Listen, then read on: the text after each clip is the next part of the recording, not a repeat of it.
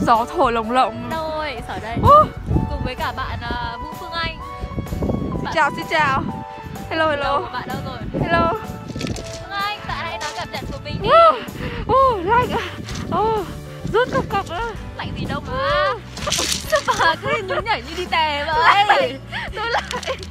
Lạnh gì, bình thường mà. Đây chắc khoảng tầm mấy độ là cùng Mấy độ cái gì, âm độ ấy Âm độ cái gì mà âm độ ở đây làm Trời ơi, bà Đào cái đấu trò này bao giờ Mà âm đợi hôm Hạt à?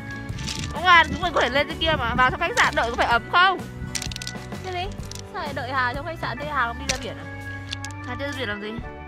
Nhát sỏi á? Ừ lấy một viên tròn. Này viên này cũng tròn này. Đấy. Đấy, viên này cuối cùng là nó cũng quyết định đi.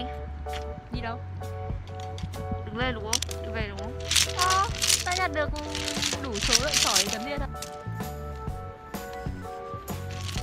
Đấy thôi, về đi. Đây viên này giống cái giày Chúng ta đã hoàn thành nhiệm vụ nhặt sỏi cùng bạn Vũ Phương Anh